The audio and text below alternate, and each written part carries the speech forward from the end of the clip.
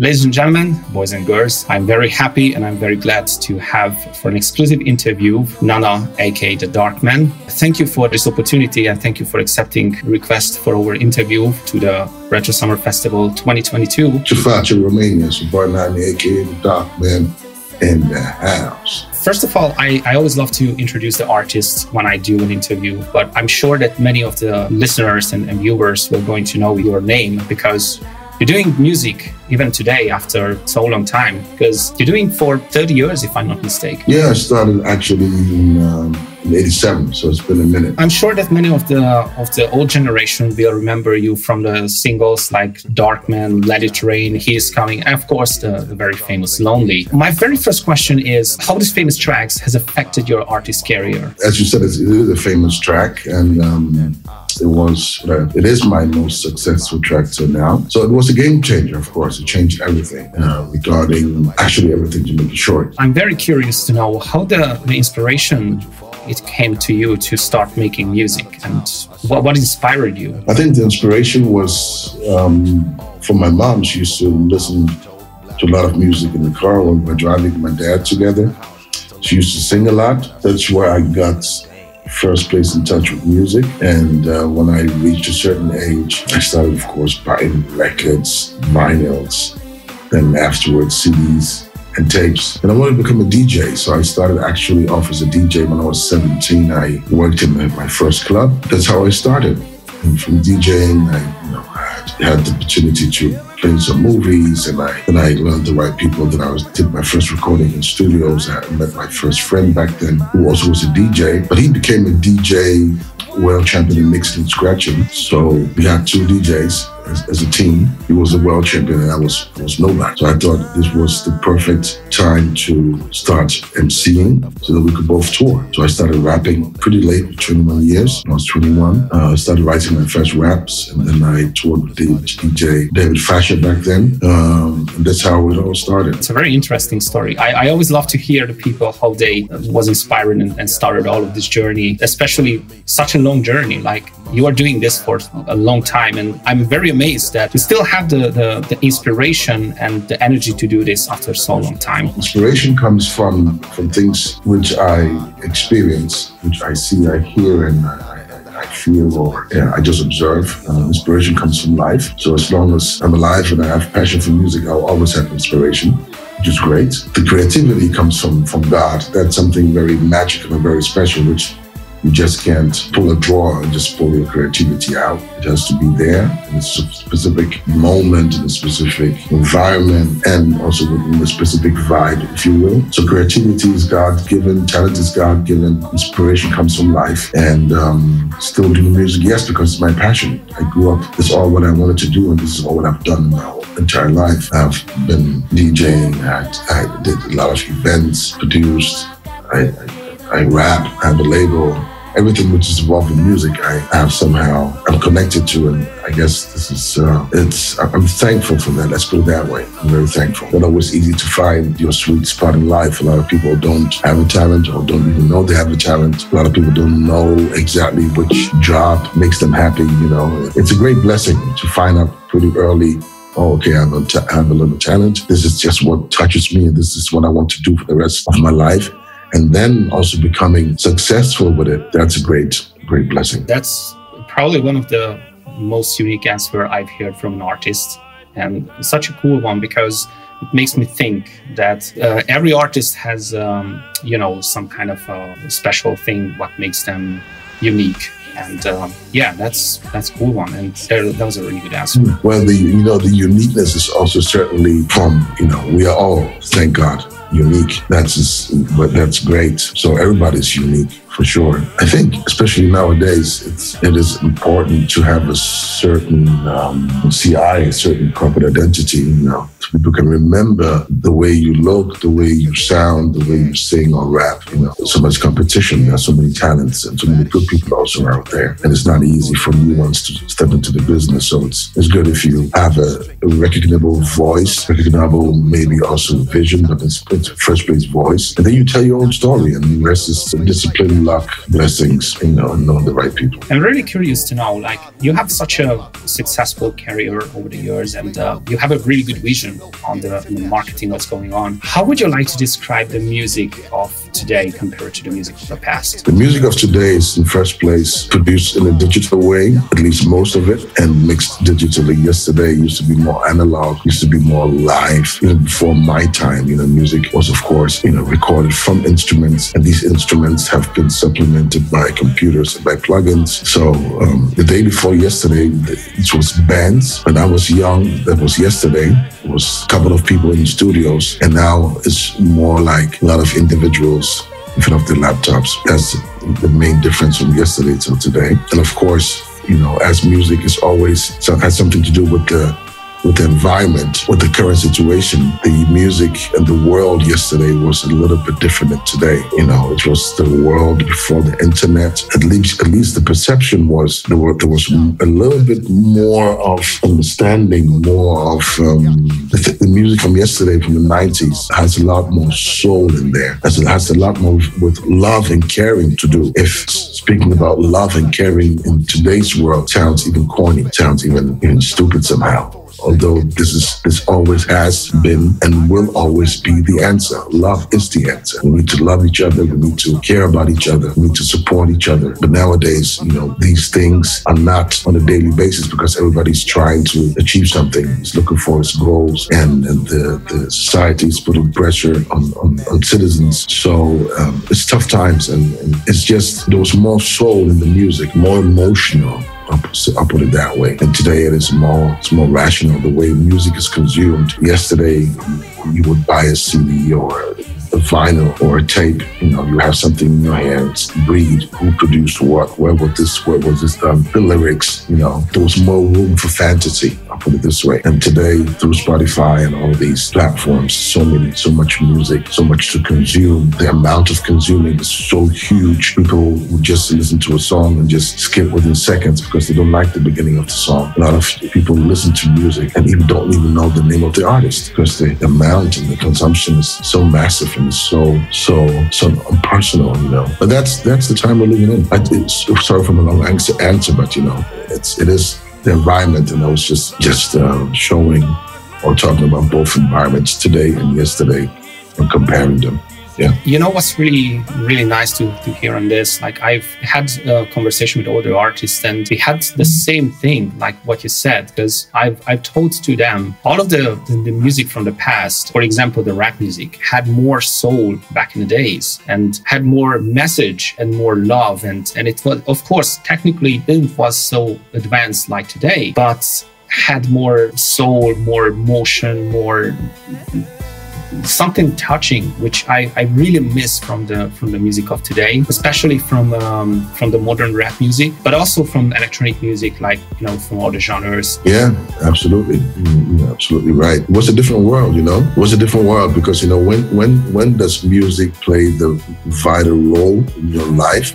In first place, in your youth. When you grow older, then you stop listening to music because of different reasons. And um, it was a different society 25 years ago than today. It's more violent than, than, than, than yesterday. And of course, the, the youth from today, they are also especially when it comes to rap. They're also broadcasting from the streets. They're also representing their the youth and their, the environment they live in. There's a lot of shootings, you know, so many have lost so many young artists from the US, you know, young rappers who have died. It's just ridiculous. It's unbelievable how fast, how fast they die nowadays, you know, through shootings and through gang issues. It's crazy. That's today's world. You know, the, the world is changing every day. Sometimes it's so fast that you don't really have a time to keep up and to Absolutely to to just think about it because the last couple of years there was so many things happening you know the, the coronavirus uh, then this situation right now what's happening um, in the neighbors. And it's kind of really fast and it's it's hard to to process these things so fast. Absolutely. And i mean i don't know how old you are but at least for 25 years ago you were also young as i was. Let's say you were around your 40s more or less i guess less but let's say you were between 30 and 40 and what you just said i feel the same. I'm 53 and i also feel the same. Things are very hard to process because there's so much of information going on and so much things happen so fast. Now imagine a 15 year old kid, you know, a 17 year old kid, you know, living in this world, you know, it's crazy. I remember that when I started to, to make music, I was 12 in uh, 2002 and there was no there was no YouTube, there was nothing. Slowly just started to came in all of this technical advantage uh, for everyone. Then YouTube just came in, internet become free for everyone, and you had more opportunities, more opportunities, and every day was uh, was a technical advantage. Like year by year, new stuff happened, new things happened, and it was really hard to keep up. And I remember that I was a kid when I in 2002, but all the things happen so fast. And, and, even today for the kids, it's so fast. Like they are born and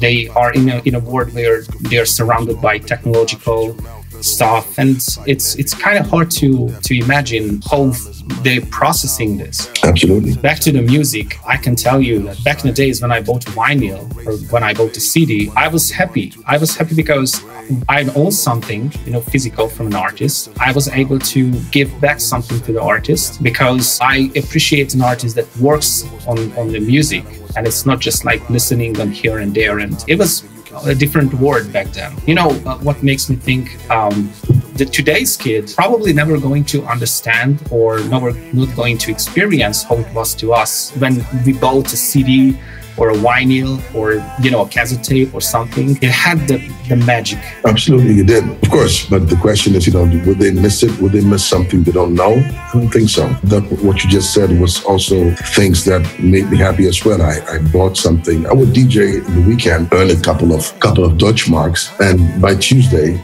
the money was gone. I would spend this money for records, for vinyls, you know, for the for the next weekend and for CDs. And even before the CDs came, I was just spinning with vinyls. And I was happy. You know, I had these things in my hand. I bought something, I could touch it, I could feel it. And it left a lot of space, you know, left a lot of, of room for fantasy, you know, for, for just for connecting the dots, you know. And now and and when would you see a picture of your idol or somebody you, you, you would admire, maybe in the magazine as a poster?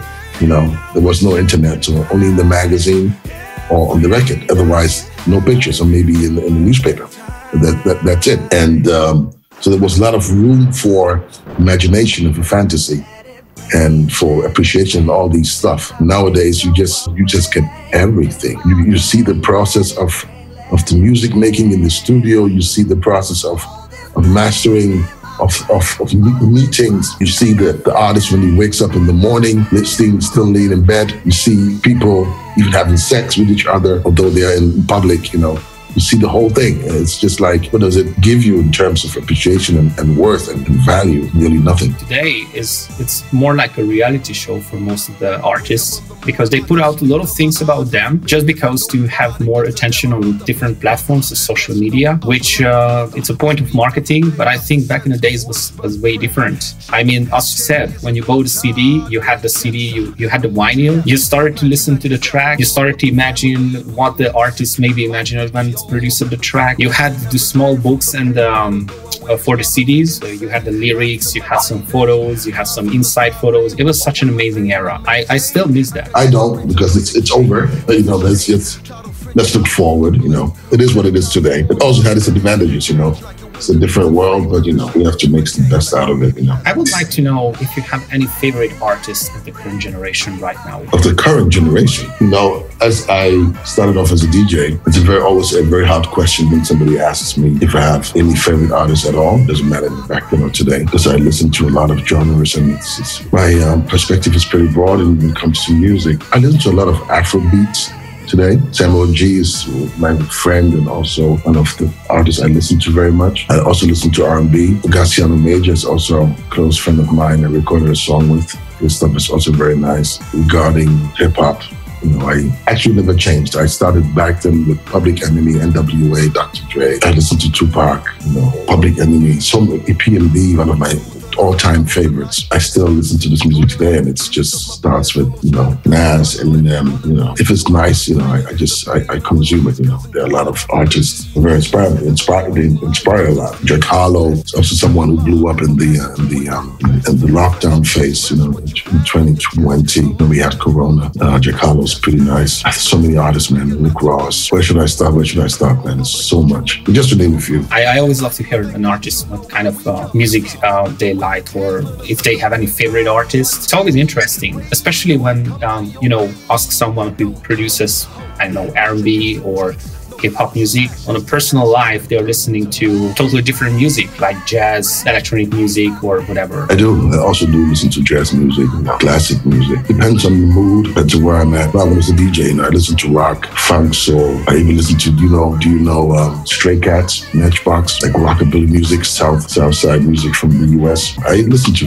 actually everything. You know, I was consumed everything which I found interesting. Do you play any instrument? No, I don't. My instrument is the pen. You know, I can also do some beats, but it's nothing you were, you know, it's nothing which I want to, the level is not so nice that I would say uh, my beats are going to go out with. So I just uh, study. I want to play a little, bit of guitar, but it's nothing. I mean, the real artist, I don't want to, I don't want to insult anybody who's a real musician in terms of playing, playing instruments, you know. I'm very curious to know, since you are uh, a successful artist, and I'm, I'm sure that you had uh, many, many countries you visited over the years. Do you have any favorite place? I have a few. Depends on what, you know. If you ask me, for example, when it comes to food, it's certainly always a, a former Russian UdSSR country, Uzbekistan. I love plov, you know. So it's I, I, I love when it comes to food. I will say UdSSR countries. You know, I love Japan only because of the food. Tokyo, I love Tokyo. I love I'm a foodie. I would just even fly there to just eat. I love Tokyo. I love Japan in general. When it comes to Europe, I love a lot, a lot of places. You know, Italy. I love your country as well. You know, I love coming to Romania. The beginning of the 2000s, and I've traveled many places you know, beautiful country. Caribbean is also nice. My favorite spots. Yeah, it depends on the continent. You know, depends. I have a lot of I have a lot of places. I, I really love being countries as well. You know, depends on what what we're talking about. Is it for for holiday? Is it for you know, meeting people, enjoying food, driving through the mountains? Georgia was one of the also beautiful countries I've I've seen beautiful place. I used to go also very go very often to the Ukraine. I have a lot of friends there, you know, Russia as well. It depends. I've, I've, I've seen a few countries in, in, the, in the past 30 years and uh, I, I, still love traveling and I have my friends and my, my business partners and of course my fans, last but not least. Since you, you traveled all over the world over the last 30 years, how would you like to describe the audience of different continents? For example, Europe compared to the States? I think the, the the difference between the, the audiences is where were you when you were listening to my music, when you were growing up with the music, when the music touched you? Where were you and what's your association? What do you associate with the music? That's the difference. There's, of course, cultures are different, sure, and uh, countries and people are different. But when it comes to music, I believe that, um, especially my brothers and sisters in the eastern part of Europe and Asia, I think they, sorry, I think they um, have a special connection to the music, maybe because it meant a new era in their lives. You know, the former Soviet Union thing was just fell apart and then they were, you know, looking forward into a brighter future, into a better future. So my personal perception is the fans in these countries, they have uh, probably have the most emotional connection to the music than somebody like you or me or somebody who was back then living in the West and was just consuming also my music, but just as a fact that there were also maybe six, seven, eight other artists doing something similar to my music, you know. It's, I'm just assuming. I, I don't. I can't tell. How do you feel about all the situation? What happened over the last two years? It's it's been a tough time uh, for all of us when when the virus started. Also very confusing. A lot of information, misinformation. Very confusing, very threatening. People are, are gone due to the virus. They don't live anymore. People have lost their loved ones people suffered. It's been a tough time, and especially now, of course, with the Ukraine. You know, imagine as if it wasn't enough to have to be dealing with COVID. Now they lost their loved ones, their homes. It's pretty tough, but I guess we will have to stand together and be strong to overcome these times. It's challenging. It's been challenging for a lot of millions of people. Also sad, of course. You know, I, was in the Ukraine like last year in August. I had three concerts the whole year. Unbelievable, but it's true due to COVID. These were all catch up dates. So I was in Lviv and um, I've been there a few times. Been very often in Ukraine and it's, it's surreal. It's just unbelievable to understand that this country is is a war now. It's just crazy. It's insane. I, I really hope that the whole situation with the war is going to end as soon as possible. And that's all we can do and pray that you know our our leaders make the right decisions and, and, and still can provide us with peace and harmony, you know It's, it's important because, you know, this situation in Europe right now has potentials of escalation. And then, you know, don't let us even think about a third world war. So let's pray for the best. When you visit Romania, how would you like to describe uh, the audience in here? And uh, if you have any favorite food or favorite place? Yes, um, favorite food is certainly sarmale and uh, mamaliga as well. Um, Romanians have great hosp- hospitality. You know, I've always been welcomed in your country. I've seen the good sides, or let's say the the more wealth, wealthy sides. You know, I've been to a lot of cities, big cities, and of course they're very enjoyable as well you know and i've also been to the countryside you know and seen how people are i don't know if they're struggling but it's a total different scenario outside the country than what's happening in the big cities. And I've always been welcomed very warmful. I love being in Romania. That's what I also love is I love, I love driving through Romania. I have a show and, and there is time, you know, I like driving from one place to another. It's always been a, pleasure and, and, a, and a blessing to always visit your country always, always had fun. Great performances over there. Have a great network of friends I'm still in touch with, apart from business, you know. My friends since 15, 20 years now in Romania. Yeah, I love, I love your country. Thank you so much. I'm very glad to hear this, and I can't wait to see you because I remember back then when you did the show for Urban Beats, uh, it was an absolutely massive show, and everybody loved it, and something unique for this city and we are looking forward to hear and to see you with the new performance. Me too, me too. I can't wait. I haven't been to Romania for a minute now, you know, since COVID. I haven't been to your country and I was praying that this will be over so we can finally uh, meet again. So I'm glad that I'm coming to your place and um, I'm looking forward to have a great, great evening with you guys and uh, an evening to remember. Do you have any message to your fans? Yes, I do. My dear Romanian brothers and sisters, we are now facing facing a time in Europe, especially, which is very challenging. Um, I've recorded a new song, Save Our Souls, SOS, to support uh, victims of war not only the Ukraine, but also other victims of war worldwide. Check out my um, social media accounts, SOS. Every